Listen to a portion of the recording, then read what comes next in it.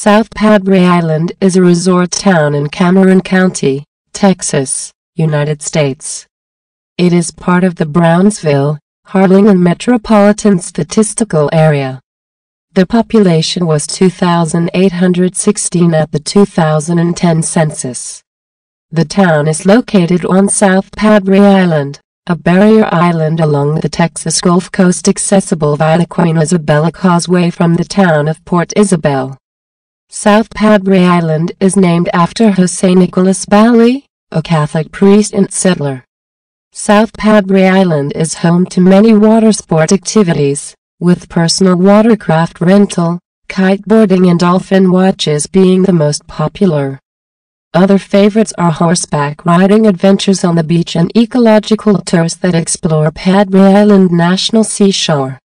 Fishing is also popular. Every year, the Texas International Fishing Tournament is held in late summer, with winnings totaling almost a quarter million dollars. Other fishing tournaments include the Ladies Kingfish Tournament, the Hooters Tournament, and the Redfish Rodeo, just to name a few. In March, the island is a popular spring break destination for college students from around the world. The rest of the year it is a popular family resort destination, with July being the most crowded.